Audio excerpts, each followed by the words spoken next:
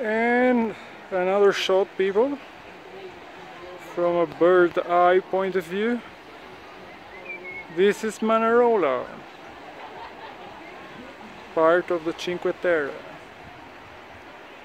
World Heritage Site as well as the other Riomaggiore. I guess the other I like it more. This I like a little bit less, but still. Here you can find a lot more aquatic adventures and also a beach right over there. Okay then, over and out from Manarola.